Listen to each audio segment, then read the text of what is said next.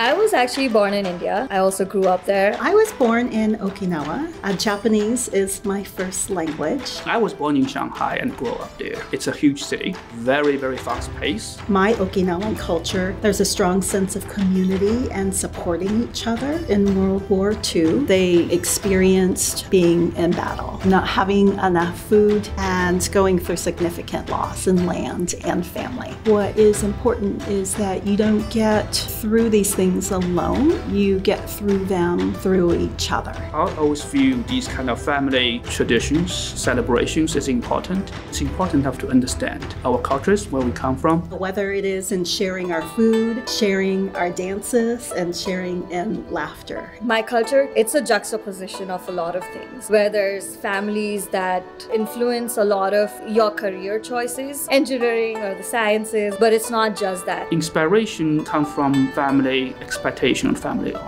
When I left Okinawa, my family wanted to make sure, as the oldest child of three that I didn't lose the language, I didn't lose the culture. So I felt an obligation to retain as much as I could. My culture is a lot of music, it's a lot of arts, it's street food.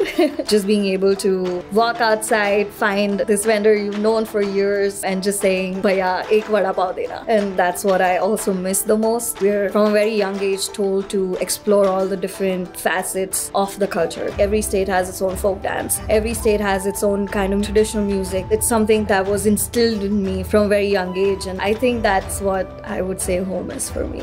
Soon after coming to the United States, I quickly knew that I was different. I didn't recognize that the differences could actually be strengths. It has been my journey to be able to accept myself more fully. And when someone asks me, Who are you? Where'd you come from? I welcome the questions now.